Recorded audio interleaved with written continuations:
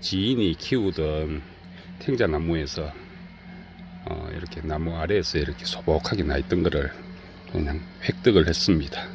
자, 이거를 어, 분재용으로 저는 키울 건데 저번에 휴무스 화분을 만들었었는데 거기다가 모아 심기를 한번 해보겠습니다.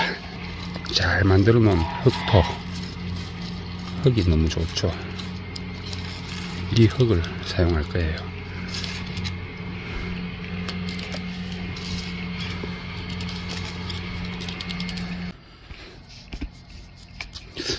한 1년, 한 2년 정도 만든 흙인데 이렇게 유기물들하고 섞어서 1년 정도 만들었더니만 흙토에 가까워지려고 하죠. 여기다가 히트모스를 섞어 넣을게요. 좀 섞어야 돼.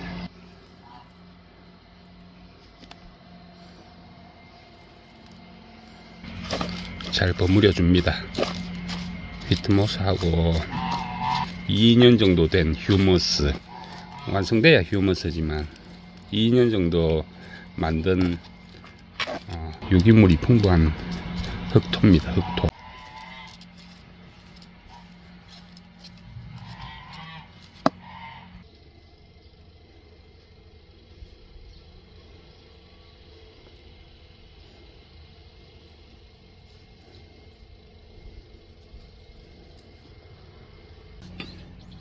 어, 여기다가 아까 비상사태였어요 비상사태 중간에 끊었는데 모종을 여기다가 얹는데 개미가 그냥 막 엄청나게 붙어 있더라고요 그것도 알 보호한다고 알 막 물고 막 자기들도 자기들대로 비상이겠지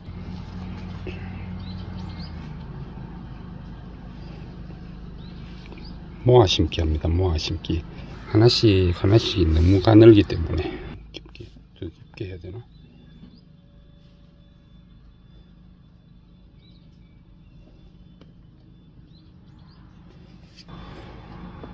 여러 개를 모아 심습니다. 모종이 너무 많아. 너무 많아서 원래 참한 거 예쁜 거 하나만 심고 키워볼까 했는데 너무 가늘기도 가늘고 너무 어립이기도 하고 좀 다닥다닥 모아 심기 하기로 했어요. 이런 식으로 심습니다. 자, 모아 심기를 했는데 너무 밀치기인가 모르겠어요. 아까 막 개미가 막 엄청난 개미가 나타나 가지고 당황을 해 가지고 뭐 이렇게 심어 놓고 나중에 좀 삐리삐리한 녀석들은 그냥 골라 솎아내면 되니까. 자 이렇게 해서 물을 주도록 할게요.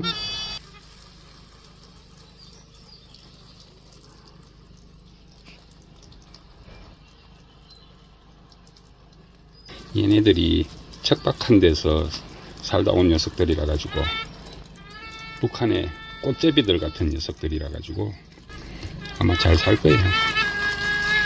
그리고 최고 등급 흙을 넣어줬기 때문에 잘 살 겁니다. 하우스 안으로 데리고 왔어요. 밤새 따뜻하게 자라고. 밤새 안녕.